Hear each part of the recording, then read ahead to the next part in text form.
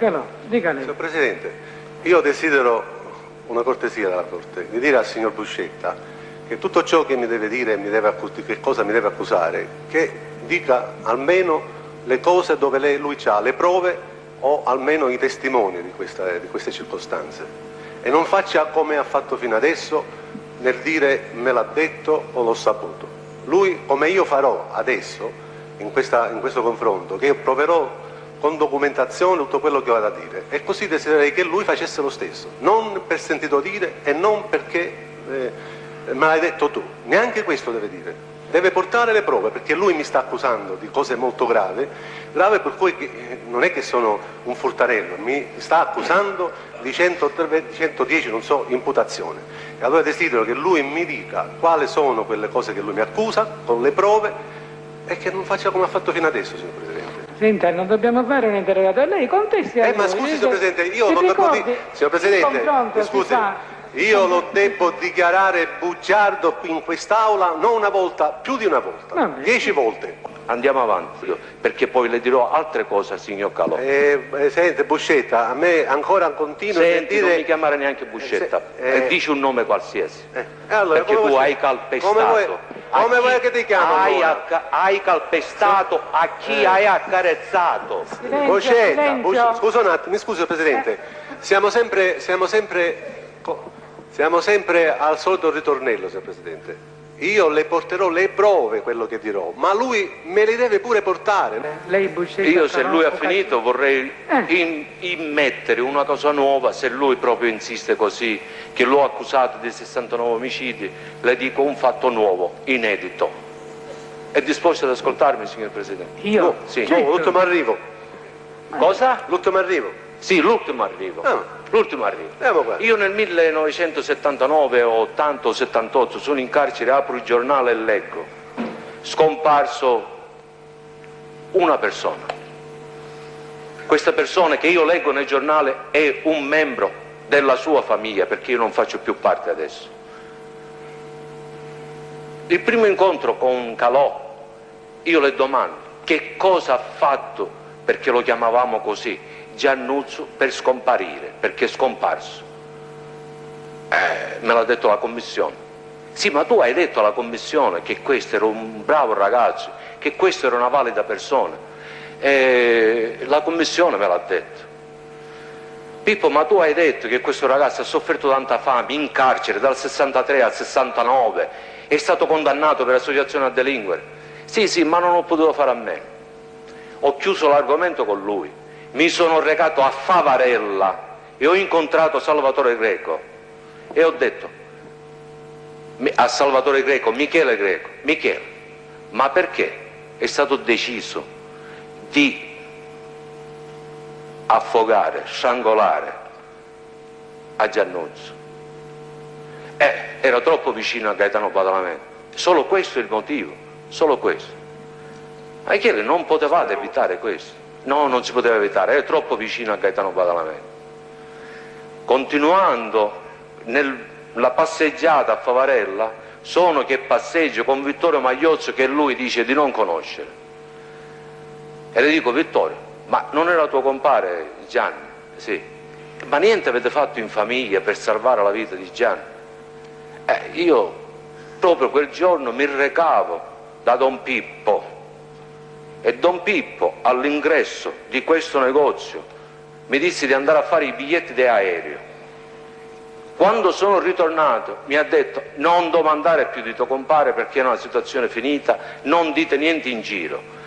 Questa persona si chiama Giovanni Lallicata, membro della famiglia di Porta Nuova, che il signor Calò con questa faccia di innocente si presenta qua per dire dimmi di dove sono il capo, chi te l'ha detto? Questo è il signor Calò. Allora se il signor Calò vuole fare il pentito anche lui, che dica tutte le cose che lui ritiene più opportuno di dire sul mio conto, li accetterò e se verrò condannato per me sarà gloria, la mia famiglia è sistemata, io per me non ho paura di carcere perché del resto sono carcerato come lui. Può parlare, lo sfido a parlare. Eh, eh, finito?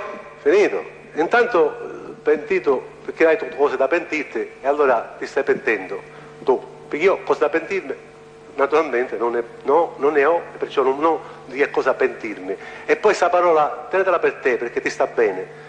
Di queste, la, la, ora, quanto tutto quello che stai raccontando, tutto quello che stai raccontando, sono altri fatti nuovi che stanno, ti, ti, ti hanno raccontato adesso?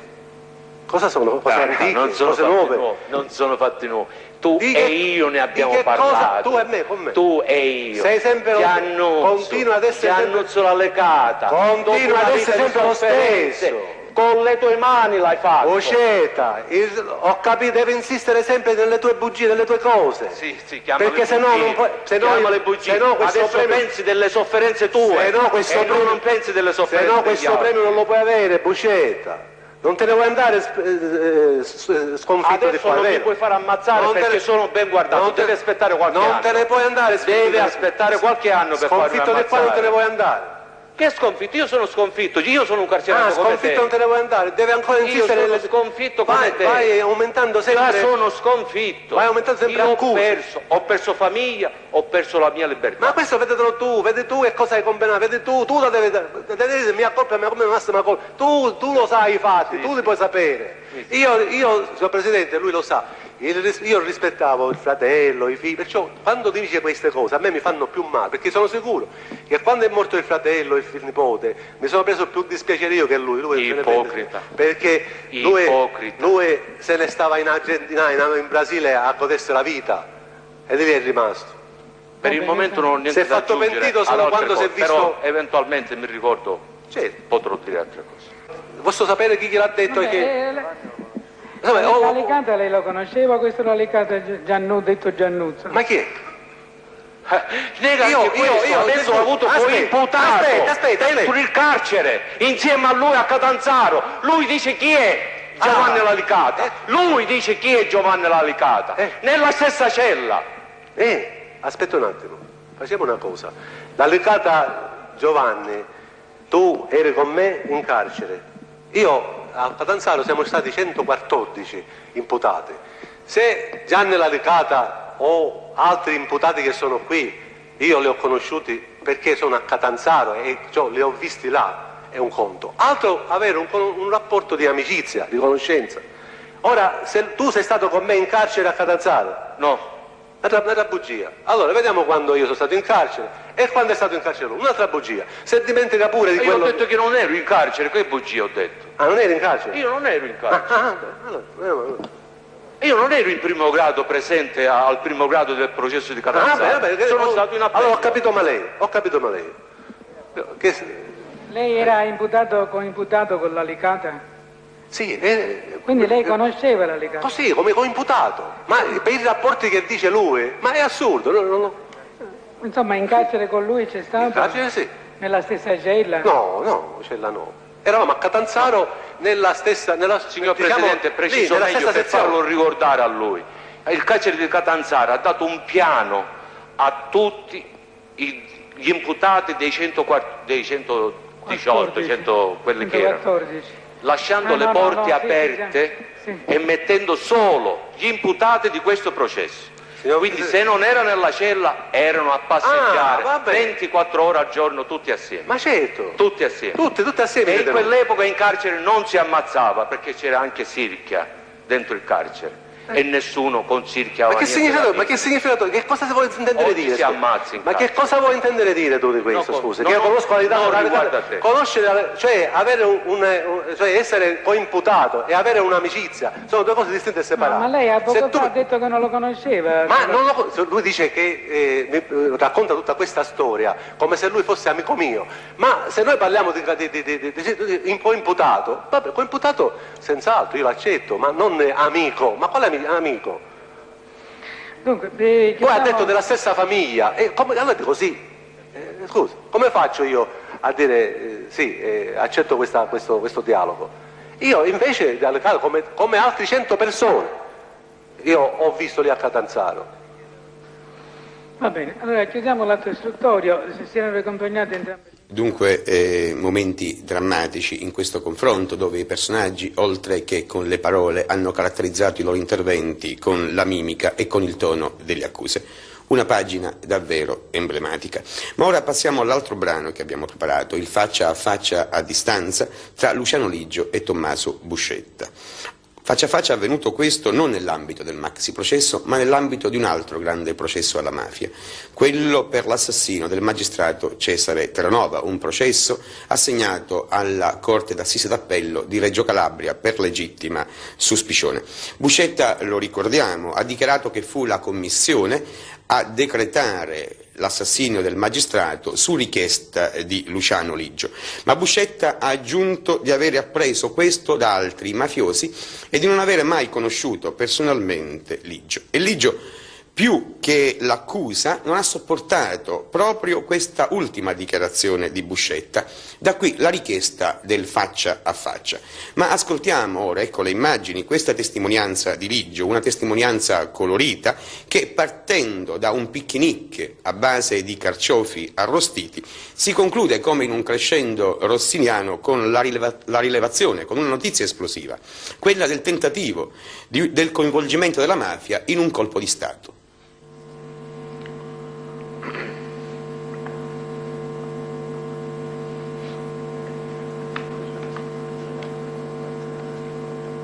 Negli anni 60-61 mi incontrò più volte nella tenuta Costa, condotta dallo stesso Cecchedene, a festeggiare all'aria aperta, eh, carciofe arrostite, pesce fatte sul fuoco così. E lui, accompagnando il Cecchedene, è venuto lì e ci trovò a me con un cugino di sto Cecchedene Nicola Greco, io faccio il nome, sì, non ho niente di... è lo stesso Cicchedete e abbiamo mangiato di questi pesci e carciofi arrostiti all'aria aperta, quindi non vedo perché. Poi dice non mi conosce. E lui aveva un'opera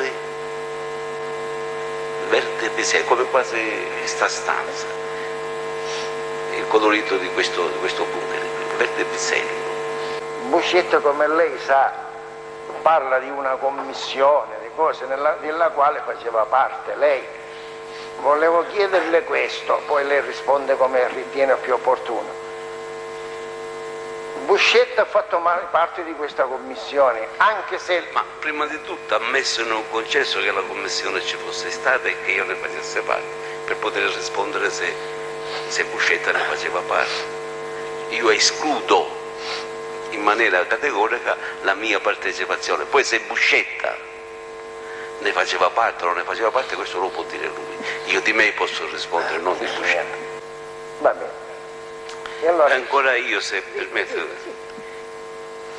pregherei la Sua Eccellenza di chiedere al signor Buscetta se si sia confuso tra l'avere letto queste notizie che poi lui riferisce ad averci raccontate e quale occasione se ce l'hanno raccontate, perché ce l'hanno raccontate, quale motivo. Perché io Vabbè. ho l'impressione che lui abbia confuso di averle lette con averle avute riferite. Va bene, ora lo, poi interroghiamo lui. Lei è Tommaso Buscetta, vero? Sì. Lei cosa mi risponde su questo? È notorio perché ho già dichiarato che io ho una grande amicizia con questo Salvatore Greco. Eh no Salvatore, Salvatore era Totò, Totò Salvatore, Salvatore Greco Cicchitelli. Sì, sì. Eh, l'ho dichiarato anche in questo pretorio sì. giorni fa. È vero che mi recavo molte volte, spessissime volte a casa di Salvatore Greco, non nego la circostanza. Può darsi che abbia visto a Luciano, a Luciano Ligio, Leggio nelle circostanze, ma per me era uno qualsiasi un illustre sconosciuto. Un illustre sconosciuto. Almeno che lui non ammette che ci siano state delle circostanze precise che lui ne sia stato introdotto come uomo d'onore. E allora devo un'altra volta tornare nei pensieri e vedere se ciò è successo. Il fatto dei carciofi ne ho mangiati tanti in vita mia che non ricordo più quanto ne ho mangiati. Eh, signor Pre Presidente, Preferisco parlare da vicino. Lei, ma lei non mi può dire la circostanza attraverso il microfono? Sì, io posso dirlo, però siccome la faccia è lo specchio dell'anima, io capisco che è molto meglio che lei mi guarda negli occhi quando io parlo e la corda. D'accordo, ma Eh, insomma, quindi se me lo vorrei essere così, messo lì vicino, ecco. ma guardi, noi... E poi anche col signor Buscetta, io eh, non credo che sia così violento di poter pensare di aggredire alla mia No, età. no, no, non parlavo, di, non, parlavo, non parlavo di violenza, ma non è il caso del confronto, ecco perché. Ora se lei mi dice... Ma io non parlo di confronto, parlo di essere... E mi, dica la, e mi dica la circostanza lo stesso, io a lei poco, poco e fa... lo- allora, e allora le dico, signor eh, Eh. Presidente, vuole chiedere al signor Bucetta se si ricorda di aver avuto un incontro in quel di Catania, non incontro con lui, di lui essere sempre accompagnatore del signore greco, detto Cicchitera, in una villa dove io abitavo, in quel di Catania, e in quell'occasione guidando un'opera, sempre un'opera, questa volta targata a Zurigo o targata a Svizzera, e di essere stato nella mia villa, perché era la mia residenza, sia a letto a dormire, a mangiare e a dormire per la giornata e in quella circostanza io per farlo ricordare ho regalato, anche se come lui sentiva caldo, che era inizio di stagione del 70, nell'estate del 70, ho regalato un pantaloncino al signore perché voleva un pantaloncino per guidare senza essere, sentire caldo.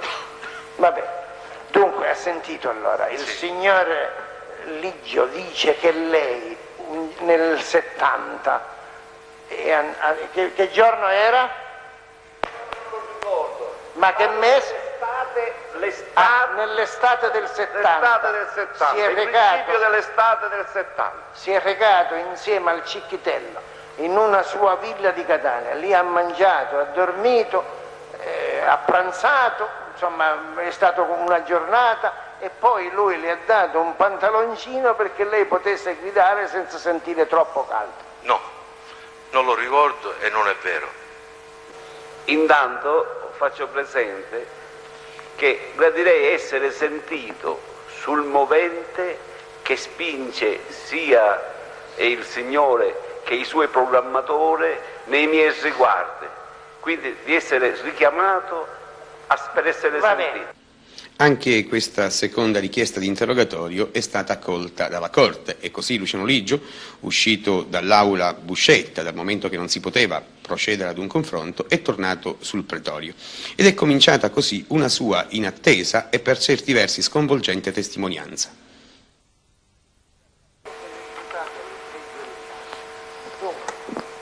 Mi dica allora, spieghi il perché questi signori vogliono, l'accusano così di queste cose qua. Non era nelle mie intenzioni scoprire il sederino a nessuno, ma visto che mi trovo qui costretto nelle cose più semplici di negare l'ospitalità, il riposino nella stanza da letto, il segalo del pantaloncino, e allora dico il perché di tutto questo odio e questo rancore. La sua venuta, ecco perché lui non accetta la venuta, è per ragioni di affari, per ragioni politiche. Si parla di interessi politici, di grosse occasioni e io resto estraneo a tutte queste cose. Come ha ammesso il signor Buscetta stesso, sì, eh. Io non ero conosciuto prima che il mito nascesse. Nato il mito contro il mio volere, non mi fa piacere. E allora, in vista di questo loro programma grandioso di megalomane e molto avidi, stavano cercando appoggi, cose. sono stati a contattare affari di Stato addirittura.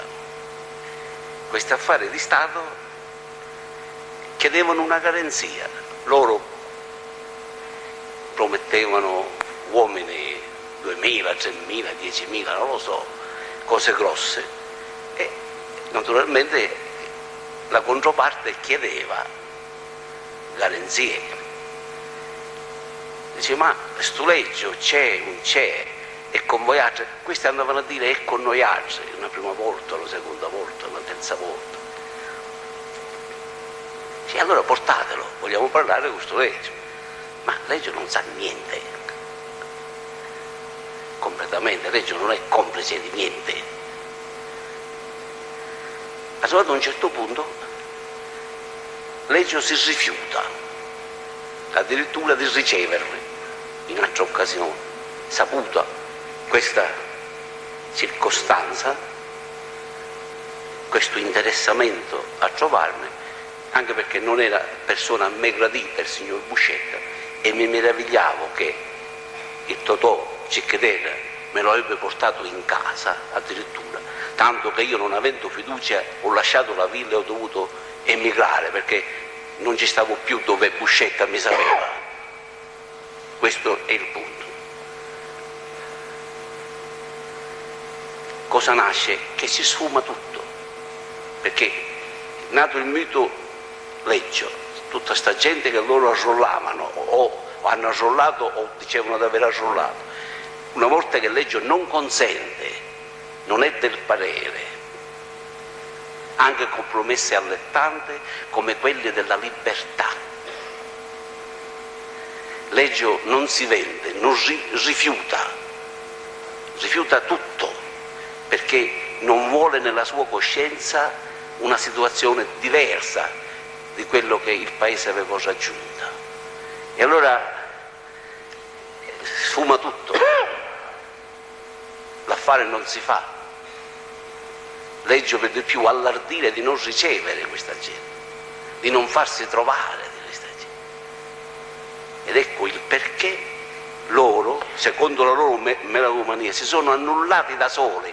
Non è che io ho fatto niente per annullarlo, per carità, non è che io sono andato a dire alla controparte se devo essere io, se non è. La controparte, nato il mito, mi cerca e vuole la garanzia mia per avere fiducia a questa gente. Garanzia che io non mi sento di dare per coscienza e perché non Quindi- condividevo la parte. Quindi praticamente, praticamente volevano portarlo verso di loro, ma chi? Ecco, chi erano questi? Buscetta, Buscetta. un signor Cecchedera Eh, e altri suoi amici che non sono io a fare il nome, io faccio la presenza... Siccome lei parlò di politici, Sì, ma loro contattavano i politici, non io. Io non contattai nessuno. Loro andavano, o chi per loro, sotto il mio nome. Quando questi richiedevano la presenza a leggio, loro dicevano che io ero con loro. E allora questi a loro volta chiedevano portatecelo. e voi non vi siete prestato a questo A gioco. questo gioco non mi sono mai prestato. Al punto che poi, in un secondo invito, ero venuto nuovamente sto Cicchedera con Buscetta per parlarne, non l'ho voluto ricevere più, ma non una volta, più volte. Perché non condividevo l'idea e non accettavo che, Busce- che Cicchedera mi portasse a Buscetta a casa, perché io conosco chi è Buscetta. Io volevo evitare tutti questi discorsi, ma bastava semplicemente che non si permetteva di voler dimostrare che io sono un bugiardo, che non è vero che era stato nella mia villa. Ma vi stai considerando, ecco il motivo dell'odio verso i corleonesi, perché questi hanno fatto brutta figura e sfumato l'affare con i politici. Si sono annullati, perché anche con le persone in Sicilia ad altri posti dove loro sono andati, creato il mito, se il mito leggio non consente, non si fa trovare, fa sfumare tutte cose, vuol dire che questa gente non merita fiducia. Ha capito? Questa è la situazione. Va bene. Trattavano con dei politici, di cui lei non sa il nome, no? Non so il nome, Di cui io non so, ma da come ha sorriso lei lo conosce. Il nome, va bene? Poi non lo vuole dire un altro paio di mani. Dunque, con, con ne politici... posso dire uno che è morto. Eh beh, insomma, Eh, Parla e siccome lui parla sempre di morti, allora i morti ne so nominare pure io. E allora preferisco non dire, per non dire e fare il nome di un morto perché sui morti si dovrebbe avere la delicatezza di stendere un velo di misericordia e non di farne scudo. Ecco io perché non evito di dire non. Per questa ragione Buscetta avrebbe lanciato queste accuse nei suoi Guardi, confronti. guardi, la situazione è molto più ampia, non è semplicemente così, così stretta. Il motivo, naturalmente, di, di cosa nasce cosa.